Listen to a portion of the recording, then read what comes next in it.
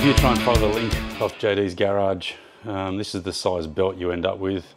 Um, you see it goes around here, you've got to try and squeeze it over the side. Let's just get over this one here first. We'll get it over the top of this belt here. There you go. So that's the belt there. So as, um, as you have your pipe sitting down on top of it here, you'll see there's the belt.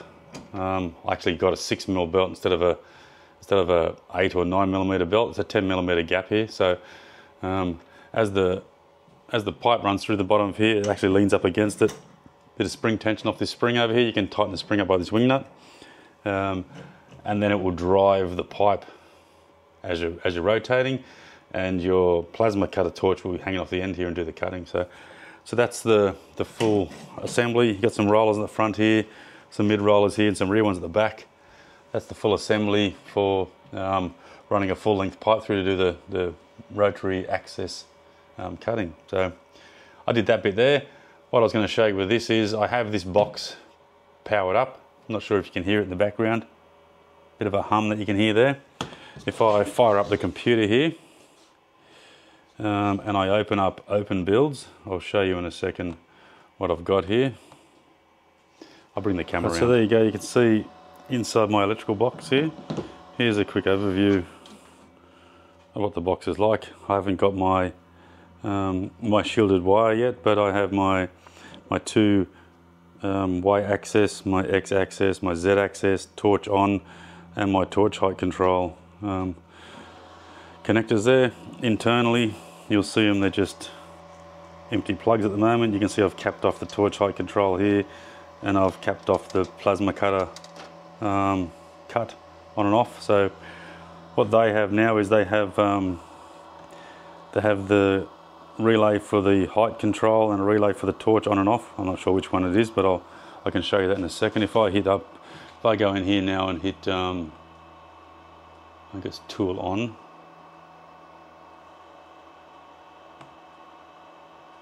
And I say um, plasma on, you see that light came on over there then. And if I say tool off, you'll see that goes off. So that that actual relay down there is the relay for the plasma torch on and off. This one here is for my height controller.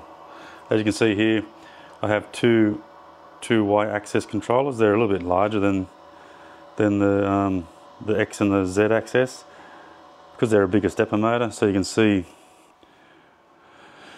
you can see there's um, there's the um, X-axis stepper motor and beside it there that's the um, y-axis. And I have two of those so there's my second one over there. They do fit quite snugly in there. Um, I've got all this cable I've got to plumb and get it through through the beam and across um, for my for my y-axis. And I'll come across the other side here then I'll run my um, run my catenary along here I've got one to manage across the back here, so all my cables will be running, cable management will be running fine through the back. But yeah, so they're a bigger controller. So you can see down there, the two Y-axis controllers, one here, one there. There's Z-axis, there's X-axis. The X-axis is the one I'm running right now for that stepper motor over there. So if I jog that um, X-axis, you'll hear it actually, you'll hear the stepper motor driver run. And you'll hear you'll see the motor run. Um, so inside the box you have a um, power supply. This one here, as you can see, Chinese crap, but it's a 24 volt, 21 amp power supply. It's 21. They recommend 15 amp, but I got 21 amp because I'm running two Y-axis drives off it, um, and the the X and the Z axis off it as well. There is a little Bluetooth, charger down here, so you wire that Bluetooth charger into your into your connections on the 24 volt side of your um, of your power supply. That little Bluetooth charger, you can see the cable rolled up here. It then plugs into your into your um, ESP um, controller. You can see it down there. I have a an extra one here. So I had a few issues on the way uh, along the way wiring this whole system up. My my wiring inside, it, it's not un, it's not terrible, but at the time, it was, when I was um, when I was working on it, it was pristine, and I was pretty happy with how it all sort of looked. But um, I had some issues with the controller. So here you can see it is here. Um, it says it's a it's a Freenove ESP32WROOM. So not sure if it will focus on this up the top here, but it does say ESP32-WROOM-32E. Now that's not the one that they recommend on JD's garage, but I couldn't get the one off was Amazon. I think all these links take you to Amazon um, USA, and I'm in Australia, so Amazon Australia. Um, it took me to a bunch of different ones, and from my from my research, this one here is the latest model. It, it has a has Bluetooth, it has Wi-Fi. You can hard wire it in via the C um, C connector here. Um, but yeah, this one here in particular had a bit of bit of problems with it. So they say to use a 38 pin controller. So if you count the pins up each side here, this one actually has 20 down each side. So it's a 40 pin controller. So what I didn't, know was on the um, on this this thing just pushes into the pins on that little breakout board down there.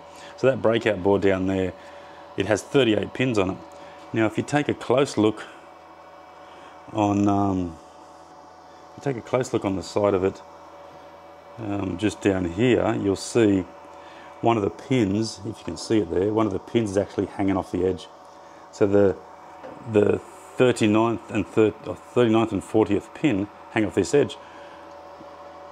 The reason being is, if you look down there, you can see. Actually, I'll show you on this board here. You can see right there. It has it has two two 5 volt outputs and it has four grounds there. So I have one ground and one 5, 5 volt output hanging off the edge of that 38 pin breakout board um, because it didn't need the extra extra pins plugged in there because that 5 volt and that ground if I put this the opposite direction that board I then have the I then have the 3.3 volt oops, have the 3.3 volt and the ground wire hanging off the other side of the board. And if you look down here, I'm not sure if you can see it in there, but if you look down there, there's a, there's a ground wire connected and underneath this cable here, there is a, um, the, the 3.3 volt wire is connected down there. So it wasn't powering the, the control board up and I wasn't able to load anything into it. So I had, um, had JD's garage looking into it. I had a, a friend at work who's a bit of an electronics guru looking into it. Um, no one could give me any feedback. Then I worked out myself that this board is actually a 40 pin controller. Once I plugged it from being too far that way to drop off the, the 3.3 and the ground to plug it back this way so they were connected and leave one ground and one 5 volt pin out. Fired up straight away, connected via Bluetooth. You can see the blue light on it down there. You can see the little controller flashing away down there. It's connected, and without that being connected, you get nothing on your on your um, on your OpenBuild controller. It doesn't let you load anything. Doesn't let you drive anything. When you actually connect this up, you have to put a little jumper wire. I think it's between um, pin 16 and ground, which eliminates the, the, emergency stop. So when you're trying to program it, you can't have the emergency stop in operation. Um, but um, that worked okay. Once I put the jumper wire in, put the um, put the control in the right position, did all the programming, everything worked fine. So as you can see in here, there's, there's actually not a lot of wires involved in, in connecting this up. This little Bluetooth module doesn't have very long wires on it. You can see they're, they're 24 volt. They're just sort of hanging out there a fair bit. The It has 240 volt in from the side here, so you can flick the switch off you can hear the whole panel shut down. You can flick that switch back on. Everything fires back up again. Has an emergency stop to stop any, any program you're running. So my next step is you can see all these all of these stepper motor drivers down here. Um, these four pins you can see here on the edge, they're the stepper motor driver cables. So there'll be two pairs, two pairs of cables. Um, I'll grab one out of the box here. I've got a spare here. I'll show you what they look like. Sorry if that makes you feel a bit seasick watching that wander around there around the garage, but um, you can see on the side of the on the side of the box here, you can see it has um, it has all these pins on the side.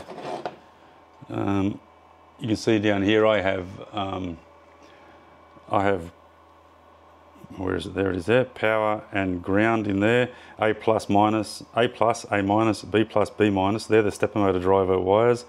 The pull up, the pull down, the DIR, and the ENA and the ENA plus.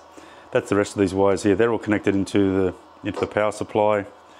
Um, I ran a bit of a a bit of a bus down the middle here to try and connect my grounds up. There's quite a few grounds to connect up to it, so I have a common ground wired off the ground on this um, of this um, power supply.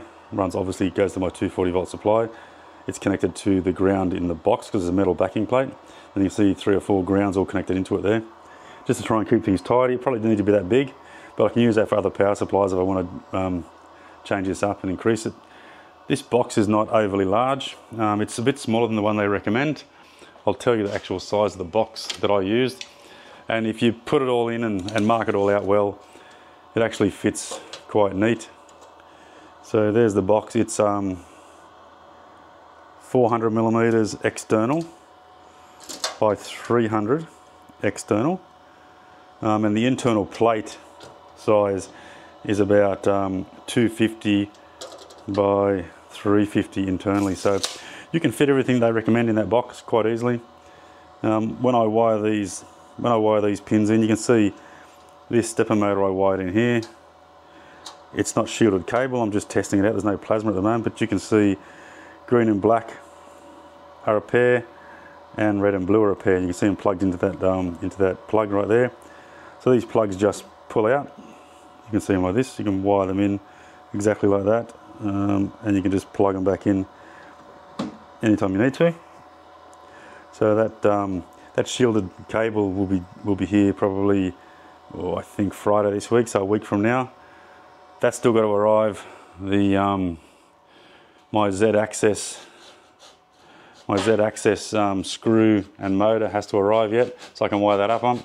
So that should be all here this Friday. So after that, this weekend coming, not today, but this weekend coming, the whole the whole shooting match should be up and running.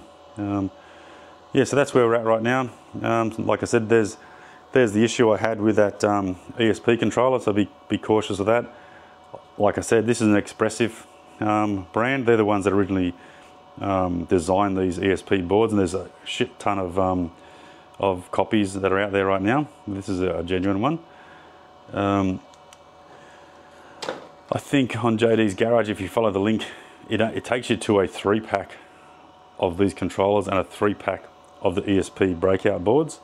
I only wanted one of each, obviously, and then I thought I fried that one, but I actually burnt out the, um, the, the USB power supply. So the board was okay, so I actually have a spare here now in case something goes wrong. Um, but if you're going to order one, there's the actual details in the box of what it is. There's just some of the little problems I've had right now. Like I said, this week I'll get the shielded cable. I'll wire these, I'll wire these stepper motor drivers into these pins down here I've got to solder them in, um, which won't be hard. And then I'll mount the box and I'll disconnect all these aviation plugs here. They disconnect quite easily, they're a five pin plug. Um, a little bit anal with how I set things up. You can see here, the um, it's a five pin plug. I have the, the actual notch in this plug facing up on all of them so they fit in easy first go every time. No matter which one you take out, they're all wide in the same way. And they obviously all face down. I didn't want any water getting into this panel. This is a removable panel, so when I do the soldering, I'll be able to solder them onto there. I'll solder the tails onto them with this panel removed, and then I'll wire them in um, into the box, which will be pretty simple to do. So, um, yeah, so keep watching, and um, we'll get to the next stage of this um, plasma cutter build. Like I mentioned before, it's quite a large one. It's a metre and a half by a metre and a half So like 1.2 1.2 meter plate will fit across and I'm going to put a um, set of rollers at the back here to feed a longer plate in as I feed it through. Just got to wait for the, um, the water pan to be made this week, which shouldn't be too far off. Right, we're doing some wiring.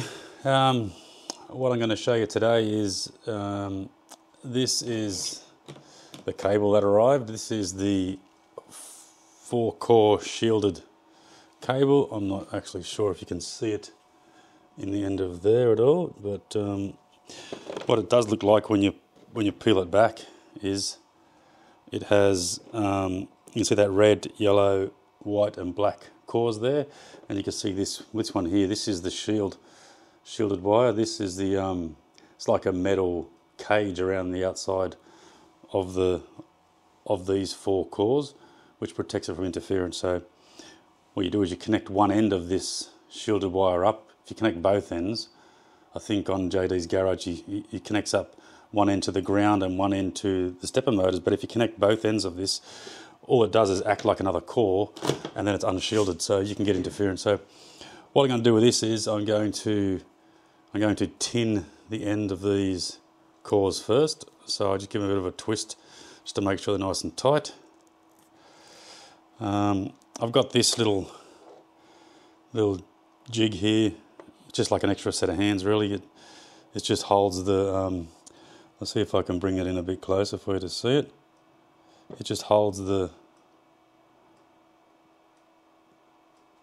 there we go. All right that's my max zoom. All right sorry to make you seasick there but there you can see. So what I've got here is I've got my soldering iron here. It's just a Ryobi battery um, Ryobi plus one or one plus whatever they call it um, soldering iron um, I have some flux here, it's a flux pen, just put a bit of flux on the end of the, the core here to make sure the, the solder goes in. Now you see a lot of people making making mistakes with trying to solder their their wires together. Um, there's not much flux on there. There we go. Um, what we've got to do is we've got to we've got to actually solder it to this um, I don't know, they call it like a military plug, I think it's called. This is a five pin one as, as suggested in JD's instructions. Um, so I'm going to also put some flux on each of these pins. Um, if you, again, if you don't put flux on them, the solder will never will never stick. Here's just some cheap solder. Got my soldering iron. It's got a a little sponge over there to keep the tip clean. And all I'm going to do is um, I just put a dot of solder on the actual soldering iron so it actually transfers the heat better. And then you just put it on there and not sure if you can see it, but there's solder on that on that core there now.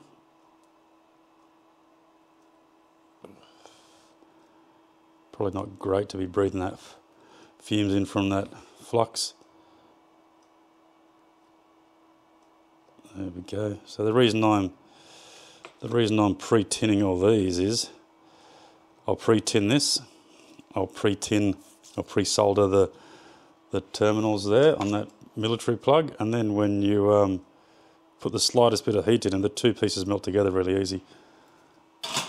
So that's that end sorted. So they're all done there now. Um, I'll move this out of the way what I do here is I just get the solder, hang it off the side of my soldering iron here. You can see the end of it. Hopefully you can see the end of it sticking out there. And I hold the little military plug um, and I clean the end of this again so it's nice and clean.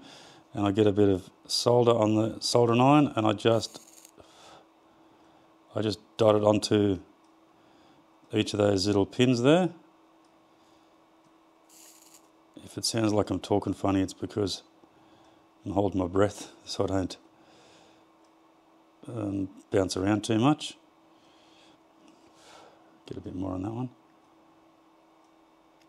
Oops. There we go. Bit on that one there too. Now you don't want to overdo it because you don't want this shit going everywhere. You just want to get enough in there. It's only got this this tiny little pocket in there to fill this solder. So you don't want to fill it to the top because you're going to sit a, a core of a wire in there. Yeah, so hopefully you can see that there now. That's got um, solder in each one of those those pins. So then I bring this bring this back across. Um, now I've got to remember. So when I'm holding this pin from the centre, I numbered them one, two, three, four, five around the side. So my um, my ground or earth cable goes to pin five, which is this one here. Look at that, it's that easy. When you when you do it um, the way I'm saying, it just application of the solder to the to the um, wires is very very simple. And now I'll just go backwards through these. So yellow is next. So I'll go to this yellow one over here. So it kind of helps if you bend the wire towards the location that you're that you're going to solder it because you don't really want to touch it with your hands because the bloody wire or the plug gets really hot. So um, bend it in there so you can sort of hold it in position and then just touch them together. Let the solder melt. Get in there, you fucking.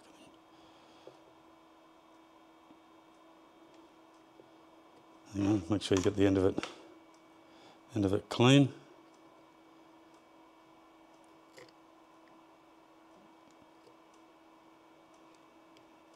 Got a bit of extra solder on there, I need to get it off.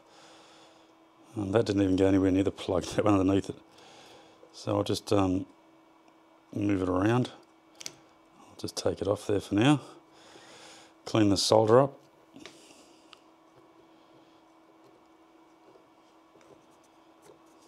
Get some more solder on it.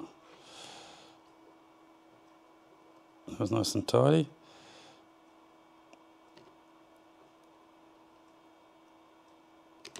And press it in there. Fucking thing.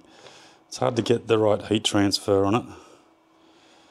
Um, I need to reshape the end of this. Ooh, not with your fingers, fucking dickhead. Um, with the pliers.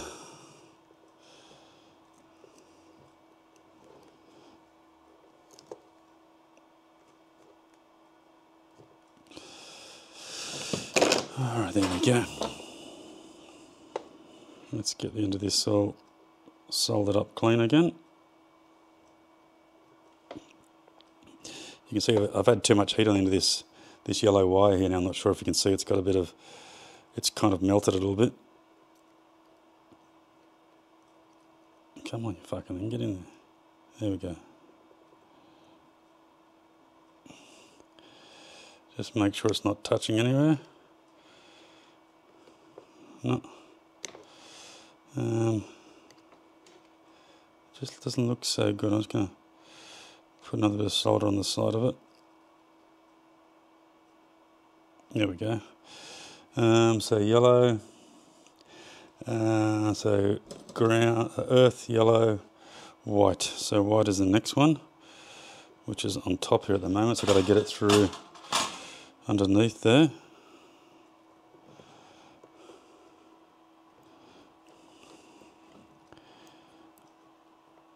Again, you just got to bend the wire to the position you want it. Hopefully you can see what I'm doing here, but or at least understand what I'm trying to do. Pre-melt that solder, press that one into it, let it melt. There we go. Um, what comes next? Black. So there's black.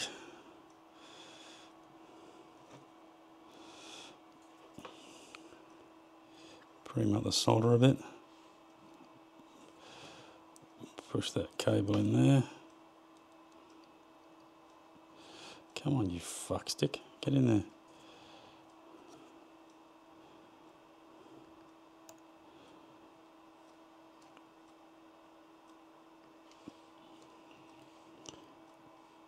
You can understand why people make a mess of this process because it's quite fiddly.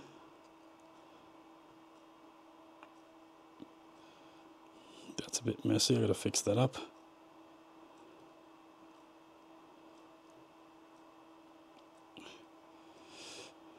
Alright, and now red is my last one.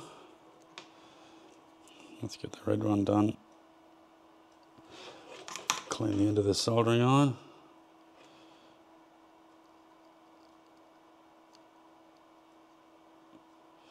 There we go. Oh, come on. Wasn't done very well.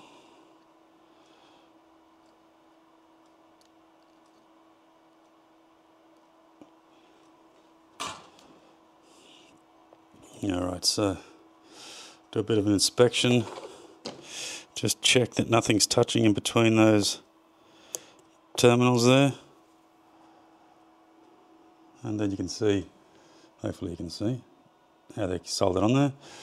Then I just get a bit of this um, oversized heat shrink because you've got to thread this thing through the hole in the side of your um, electronics box. I just thread a bit of heat shrink over the top of this Hopefully it's not too hot to get over there now. Just to protect all the cables. Get the heat shrink, get the heat gun.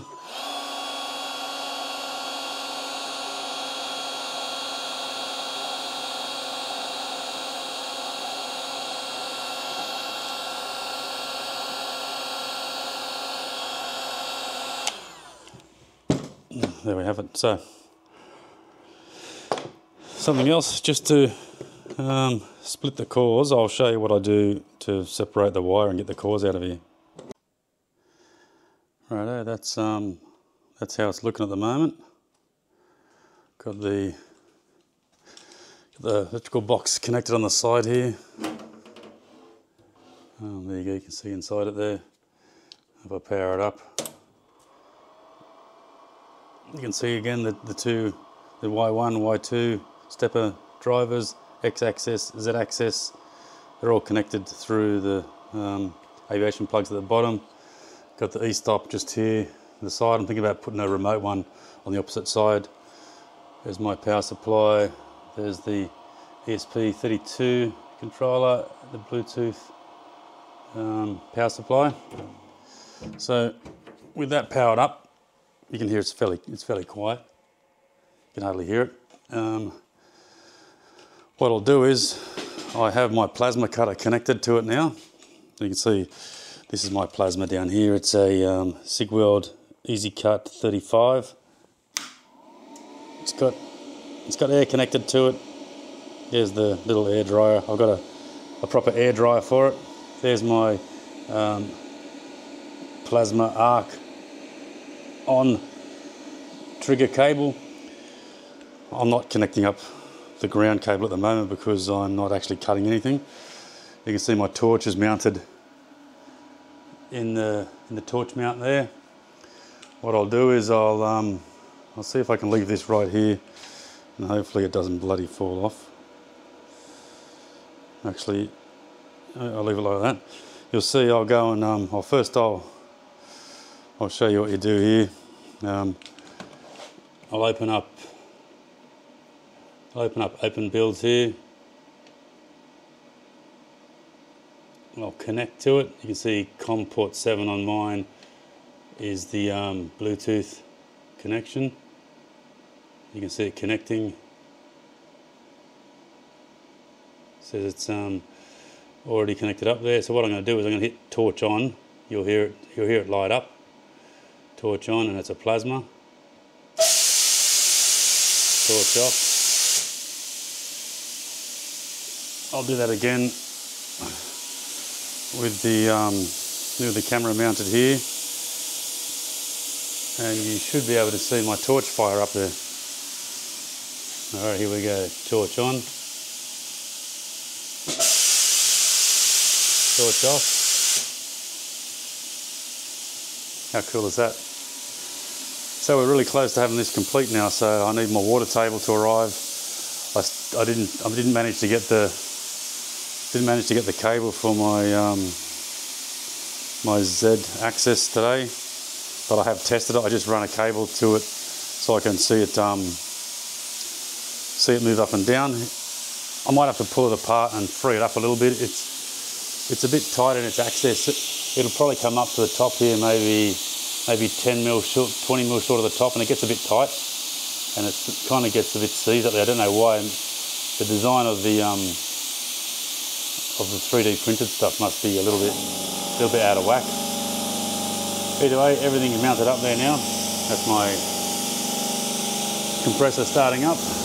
Lucky it's a silent compressor and you can still hear me. So yeah, I'll get the um, other cable tomorrow, run it through the catenary, connect up my Z axis, get my water table mounted, and um, and this job will be pretty much done. Other than other than setting up a, a shelf on the bottom there to um, store some stuff on and a couple of couple of wheels to um, to cart it around. So that's it. Job done. Welcome back, everyone. Um, as you can see behind me, got my water pan in now as well. Um, I'll give you a look at that in a second. But you can see the whole assembly um, behind me. Um, got the water pan in, got the mast on there. You can see the mast as the plasma torch runs around the um, the mast just sort of swings around with with the torch cable. I'll drive that around and I'll show you what I'm talking about. You'll see the cable moving.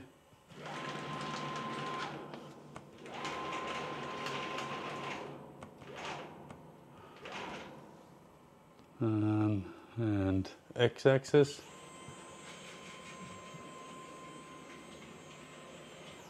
And then back this way on the Y.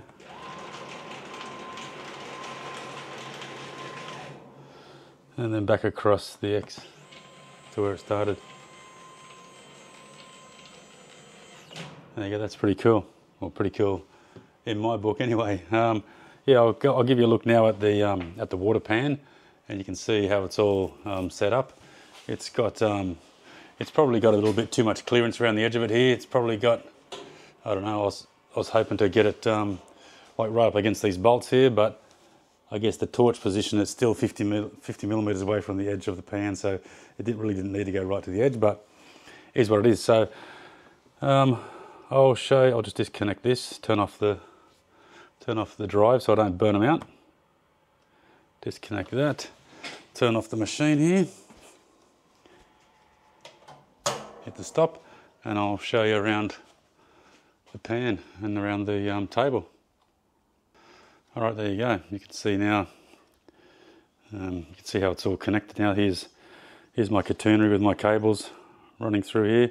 I need to cut that little cable tie there and get this last um, Z-axis drive in there. Um, you can see the Z-axis is now connected. Just got to get a bit of heat shrink and cover the ends here and connect this ground. This ground's got to go down to where the other ground is. Um, although from all the electronics guys at work, they're telling me that JD's garage is incorrect. You shouldn't ground both ends of a shielded cable, or it just becomes a cable, um, and it can get continuity between here and I don't know the, the electrical box. So I'm thinking of disconnecting these grounds at this end and just leaving the grounds of the shielded cables connected to the earth bar or the ground bar in the in the electronics box. So if anyone knows a bit more about that, just um, maybe explain it to me. The guys at work try to explain it to me, but I'm a little bit electrically dumb, so smart enough to work this stuff out, but um, there's obviously always something better you can do. So you can see there's my pan, um, stainless steel. It's, um, what did it end up being? It ended up being um, 1350 long, ended up being like 12, 12, 1230 or something across. Um, I just put a standard um, I had a dimple dyed into the middle here and I put a standard um, sink drain in there, like a vanity or a bathroom um, vanity sink plug. So it can sort of stay flush and low so all the water can escape when you drain it. When I, it's really just to keep all the, all the metal particles and stuff out of there. So um, hopefully I'll open this up, it'll drain the liquid out. But underneath here, you'll see if I go underneath, underneath you'll see I've also got a drain, a main drain valve here. So to actually drain it, I'll have to open this valve. Which way does it open? This way, down. Um, and that is 35 millimeters. Probably, what's that? Probably inch and a half or something. Um, in pipe size. So this is just sitting here now. So when I put, when I actually put the um, the shelf down here, I'm going to get a a um, I don't know some sort of water container or or um, or bin for the to catch the water and like a little recirc pump so I can send it back up to the top when I need to.